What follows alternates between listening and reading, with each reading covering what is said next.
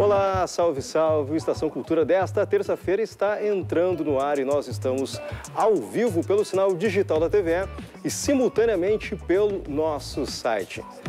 E hoje nós vamos falar sobre duas atrações do Porto Verão Alegre. Vamos conversar sobre o espetáculo Sambaracotô, que faz apresentações amanhã e quinta-feira no Instituto Ling e sobre a peça Que Raio de Professora Sou Eu, que inicia a temporada na sexta-feira na Sala Álvaro Moreira. E a música de hoje fica com a Preta Guedes, que no final do ano passado gravou um DVD do show Tour 2020. E iniciamos o Estação Cultura desta terça-feira falando sobre o concurso audiovisual Entre Fronteiras, que está com as inscrições abertas. E quem nos conta mais sobre essa iniciativa é o Zeca Brito, diretor do Instituto Estadual de Cinema. Zeca, seja bem-vindo aqui à Estação Cultura.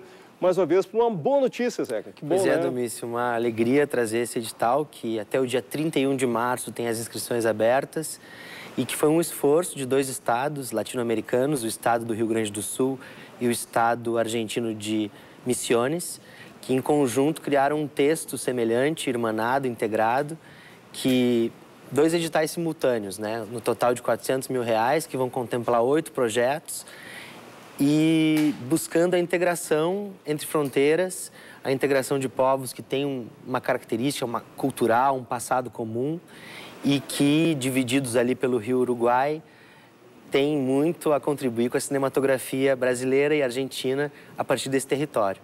Bom, para aumentar essas contribuições entre esses dois países, que já acontece, inclusive, no cinema há algum tempo, festivais uh, acontecendo simultaneamente entre o, uh, os dois lados da fronteira, o, produções dos dois lados participando dos dois festivais, e agora a ideia é fazer com que esse concurso façam com que as produções sejam produzidas dos dois lados ou que tenham participantes profissionais dos dois lados. Exatamente. É, o edital ele responde a um processo histórico de irmanamento que já existe, que o Rio Grande do Sul, através dos seus festivais de cinema, o Festival de Santa Maria, o Festival de Oberá, ali do outro lado da fronteira, o Festival de Cinema da Fronteira em Bagé, as universidades, como a Unipampa, que, que ocupam toda a faixa de fronteira, elas já têm atividades de integração que encontram através do audiovisual um mecanismo, um movimento de, de mexer na economia através da produção simbólica, né? de apresentar um caminho de desenvolvimento mesmo para aquela região.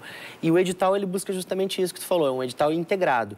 São dois editais, um que está aqui no Rio Grande do Sul, que você encontra no procultura.rs.gov.br, né, no site do Sistema Procultura, Fundo de Apoio à Cultura Estadual, e no IAVIM, é, .ar, né, na Argentina, um texto semelhante em espanhol. A única car a característica desse edital é que ele tem quatro eixos temáticos e ele exige que cada participante brasileiro tenha na sua equipe dois integrantes técnicos do corpo técnico da Argentina.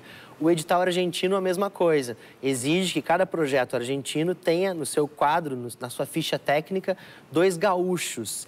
Não adianta ser brasileiro, tem que estar residindo no Rio Grande do Sul e tem que estar associado à PTC, Associação de Profissionais e Técnicos do Cinema Gaúcho. Que foi uma maneira que a gente encontrou de valorizar a participação sindical, de valorizar a, a luta setorial porque a gente só tem esses editais hoje graças a muitos anos de construção das políticas públicas. Então é muito importante que a gente garanta e fortaleça os sindicatos, porque são eles que, que ditam o que a gente deve fazer como política estadual.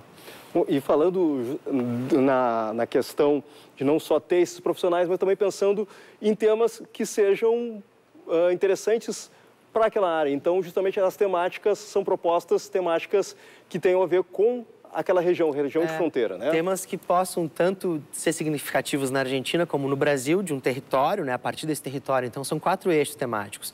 As questões de colonização jesuítica, as questões etnográficas envolvendo as culturas guaranis, as questões socioambientais que passam pelos rios, né? É toda essa bacia hidrográfica que divide esses países, tanto o rio Uruguai, é, o, a bacia do Prata, o rio Paraná, que separa a Argentina do Paraguai, logo ali em cima e as questões de fronteira. Então, são quatro eixos bem abertos que respondem a questões sociais, culturais, socioambientais, é, para propor esse irmanamento, essa integração entre projetos, entre realizadores e com um prazo grande de inscrição. A gente vai até dia 31 de março com o edital aberto, ou seja, então quem tem um projeto já pronto pode procurar uma integração com, com a equipe do outro lado da fronteira e quem ainda não tem pode desenvolver a partir desse incentivo é, que é o edital entre fronteiras, audiovisual entre fronteiras. E começar a pensar na fronteira a partir de agora, que se tudo der certo, a gente pode estar entrando no calendário aí de, de, de, de editais e nos próximos anos a gente talvez tenha esse edital se repetindo aí. Então já começar a olhar para aquela fronteira, para esse é, espaço o, geográfico. O edital ele é simbólico, né? Se a gente for pensar em 2019, a Secretaria de Cultura lançou um edital de 7 milhões para o audiovisual que foram inscritos 103 projetos e 20 serão contemplados. Esse é um edital de 200 mil do Estado do Rio Grande do Sul, um edital pequeno, mas ele, ele é muito grande pelo esforço que significou fazê-lo, porque ele é um edital que dribla as instâncias federativas, ele não passou pelo Itamaraty, ele não passou pela Ancine, ele é um esforço de dois estados que estão, independente de qualquer situação política, querendo manter-se irmanados, integrados, porque, porque convivem e porque sabem que a produção cultural, intelectual na faixa de fronteira é muito rica e tem que ser levada para o mundo. Fazendo dessa região o seu país, podemos assim dizer. Bom, concurso audiovisual entre fronteiras, inscrições até o dia 31 de março, como o Zeca falou, www.procultura.rs.gov.br. Obrigado, Zeca, e boa sorte para o pessoal também, boa sorte para ti aí. Né, Obrigado, Denise. Bom, a partir de amanhã e sempre às quartas-feiras, a Preta Guedes apresenta o show samba com tempero de boteco no Boteco 770. Bom, e hoje ela participa aqui do Estação Cultura, acompanhada pelo alemão Charles ao violão, o Andrezinho no cavaco e o Igor no pandeiro. A gente ouve música agora. No segundo bloco, eu ainda converso com ela sobre esse show. Então, por favor, música.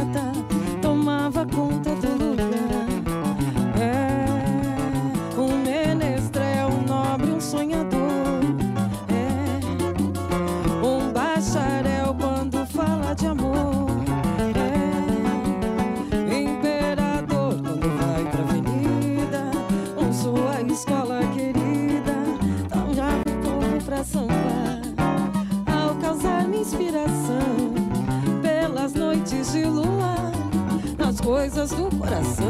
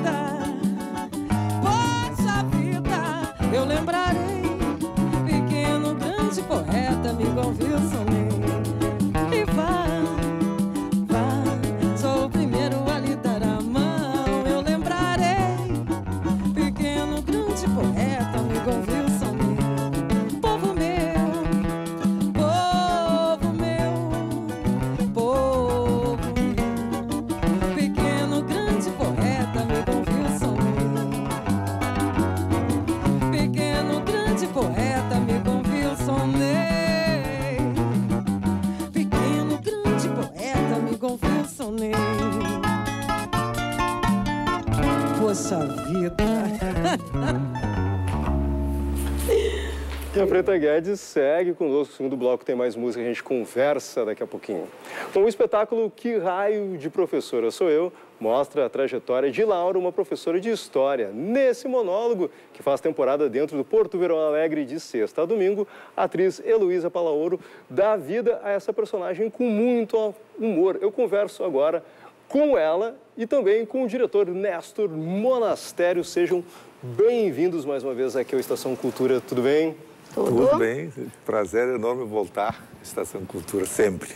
Bom, e falar um pouco sobre essa personagem nesse momento é um momento bem importante também de estar tá levando o teatro essas reflexões, também com humor, também é importante, sempre, né? É, tem que ser, né? Senão a gente não continua com as coisas. A Laura eu já faço há 16 anos, né? Um espetáculo que eu tenho há bastante tempo, que eu coloquei sobre as minhas inquietações, né?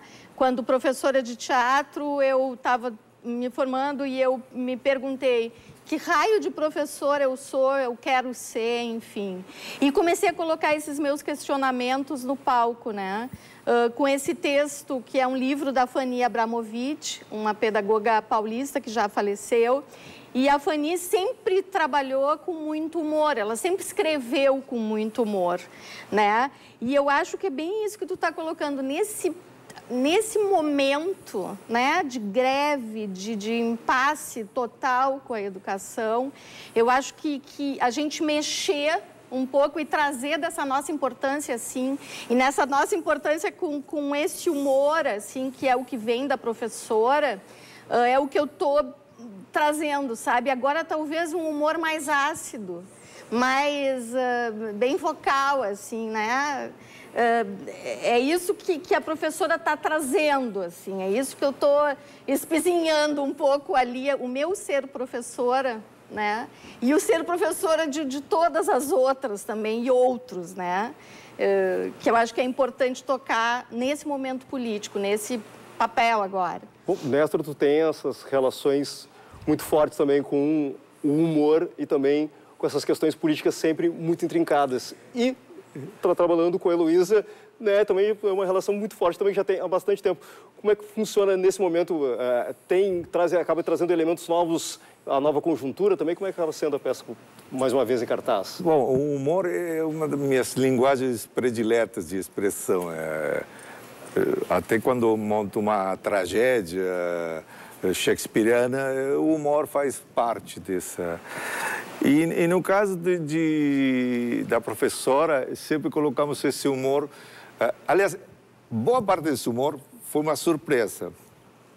A gente pegou o texto, respeitando muito o texto, com a adaptação do, do, do, Arthur. do Arthur José Pinto, legal. E era a primeira vez que ela fazia um monólogo. E nós fomos fazer uma pré-estreia lá em Santo Ângelo. É exatamente na mesma data que estreava Homens de Perto, que eu tinha que estar lá com elas. Para mim, essa data é muito marcada. Né?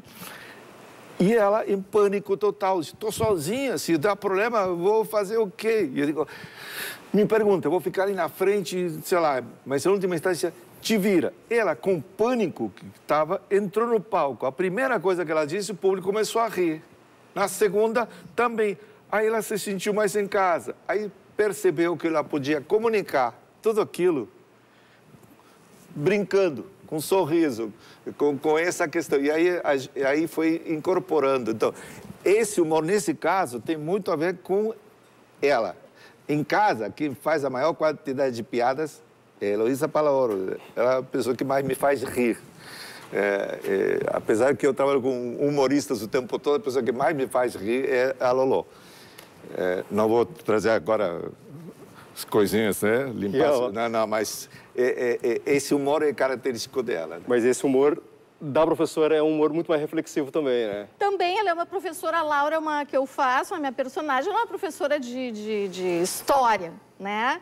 Então ela vai trazendo isso assim, é, é, nessas pitadas dentro da peça, assim, e agora, né? Como é que eu vou falar? O que, que eu vou falar? Vou dar um discurso aqui, vou, né? Vão estar tá me gravando, vão estar tá me filmando, tem, sabe? Uh, hoje tudo isso, né? está em pauta, então tem que trazer para a peça, a gente tem que colocar isso, né?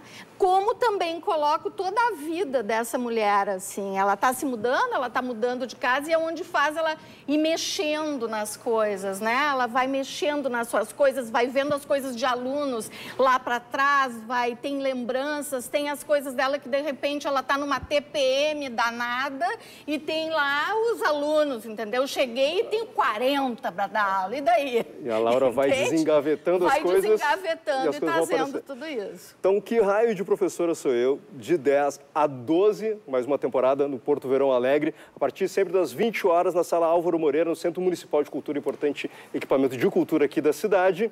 Queria agradecer a presença de vocês aí, mais uma boa temporada para vocês aí. Muito e até obrigada. a próxima, certo? Obrigado, Obrigadão. Mais uma boa temporada para todos Todos, os nós. 400 espetáculos, acho que estão em cartaz. 400 apresentações. E um bom ano para todos nós. Estamos começando recém o ano, né? E a gente faz agora um pequeno intervalo. A gente falou em Porto Verão Alegre. Em seguidinha, a gente fala sobre outro espetáculo do Porto Verão Alegre. E a gente também conversa e ouve música da Preta Guedes. É um instante só e a gente já está voltando.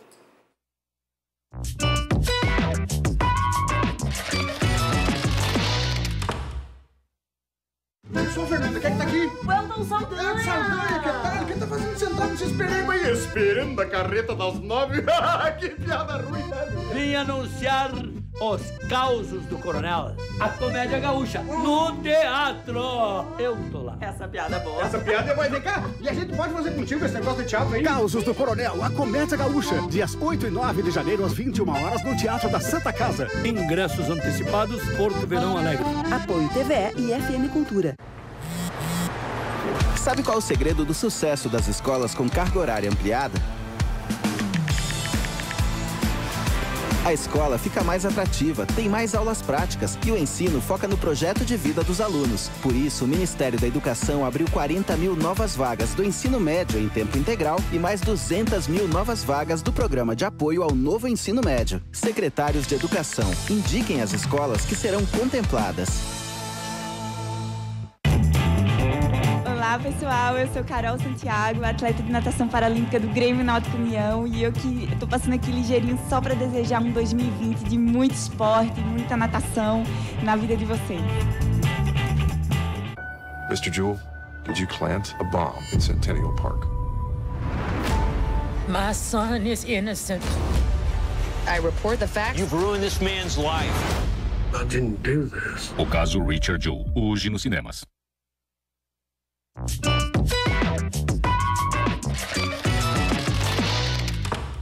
Estação Cultura de volta e a gente continua falando sobre atrações do Porto Verão Alegre. Dessa vez vamos conversar sobre o espetáculo Sambaracotô, Sambaracotu, com a Simone Raslan e o Álvaro Rosa Costa, que juntamente com a Carlota Albuquerque dividem a direção.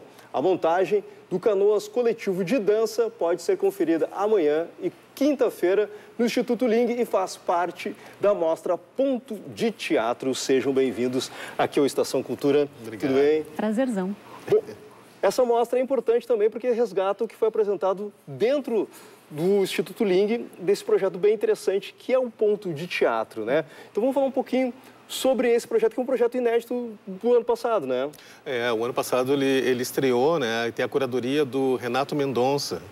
E esse ano hum, eles resolveram estender esse projeto assim, para poder também cumprir um tempo de para premiação, né? Açoriano, Chibicuera, que exige um número maior de apresentações e coincidiu com essa, com essa parceria com Porto Verão Alegre.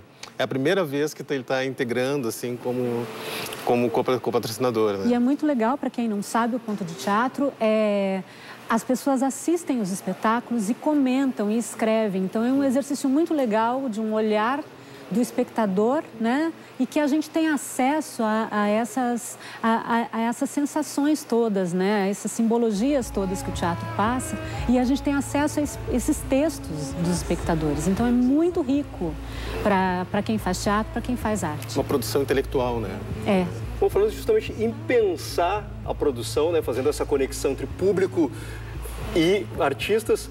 E o, o, o de Espetáculo de vocês é um espetáculo que pensa em conexões também, né? A conexão do movimento, da música com a produção musical, a produção artística brasileira, musical folclórica do Brasil também. Como é que fala um pouco sobre o espetáculo, por favor? O nome do espetáculo, né, Sambaracotu, já é uma, uma provocação, assim, da mistura entre ritmos brasileiros. Samba, coco, maracatu, né? Será possível isso, essa mistura de, de ritmos? Então, é, é, é, é uma provocação da Carlota, foi um nome que ela inventou, né?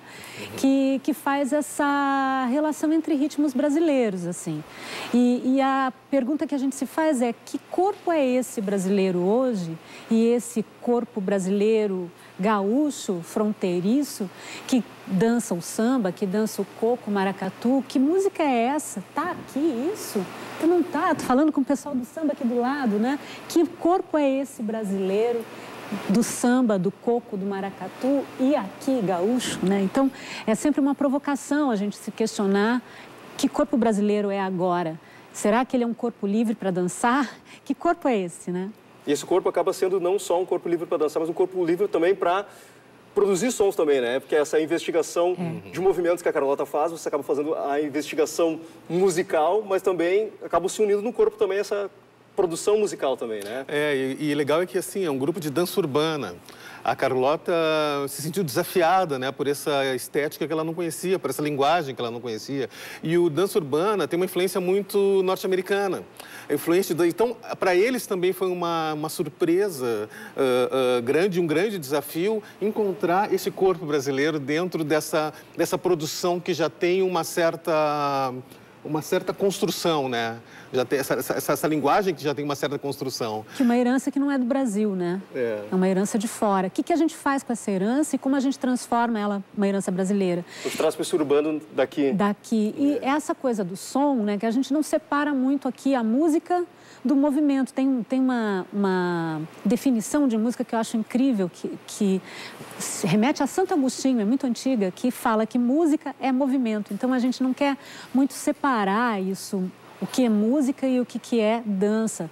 Aliás, existem culturas que não separam música de dança, né? É uma palavra só para as duas linguagens. Então, a gente tenta quebrar um pouco com esses limites aí.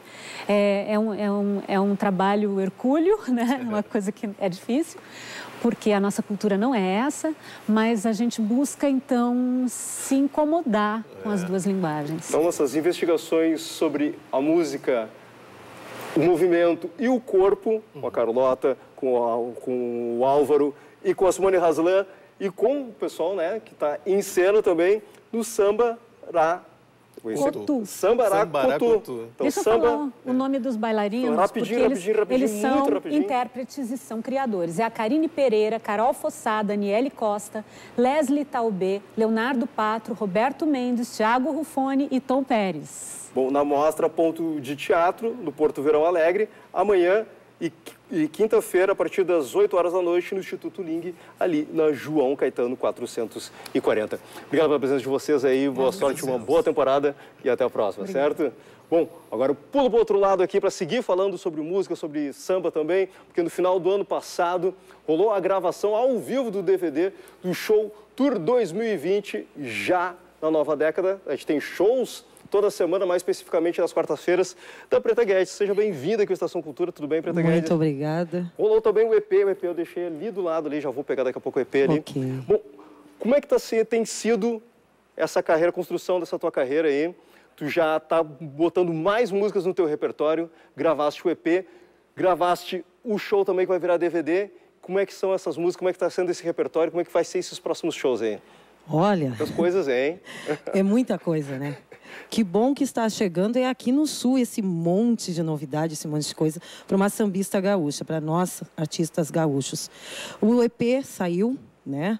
Graças a Deus. E aí de repente vem um DVD ao vivo, né? Do, no dia 5 de dezembro, o qual em plena quinta-feira lotou. Muito obrigada. Foi muito lindo. E no caso eu escolhi, no caso, somente compositores gaúchos, né? Nós nós viemos buscando coisas lá de fora e por que não levar daqui de dentro lá para fora? Então foi escolhido somente compositores gaúchos para esse trabalho, de, primeiro trabalho de Preta Guedes. Eu acho que, eu creio, não, eu sei, ficou muito lindo. Pois é, essas, essas duas músicas aqui são músicas muito legais. Sim, sim. E essa justamente essa ideia, né? De pegar esses compositores. Tem compositores Jovens, né? muito Essas jovens, duas, dois duas músicas samba. aqui são músicas de compositores jovens, Isso. mas a ideia é trabalhar com esses compositores jovens, compositores de todos os tempos. Como é que é o repertório geral que vem do DVD? É que, na verdade, eu não havia ainda ah, parado ainda para escutar os nossos compositores, né? Os nossos compositores gaúchos. Então, na verdade, eu não havia visto assim, visto assim. Tem jovens, tem os mais antigos, né?